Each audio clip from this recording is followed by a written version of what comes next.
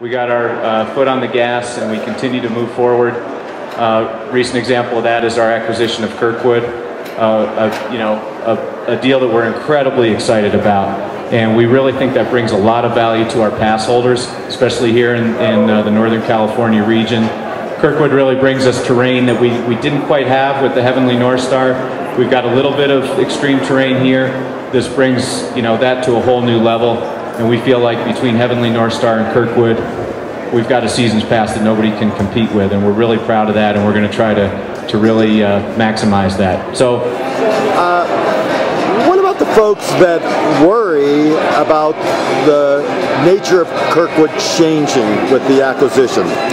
yeah, a lot of people have expressed concern about the, you know, the vibe at Kirkwood, the, the feeling there. I would say we go into it absolutely knowing that there's a value associated with that we don't want to do anything that's going to undermine the character and, and, the unique qualities that people really love about Kirkwood. And so we go in there fully aware of that. We want to preserve those things, and where we can, we want to create a better quality experience for the guests who go there. So that's our general approach. And along with that, we're just going to go in and assess the situation and, and see where we can we can help out.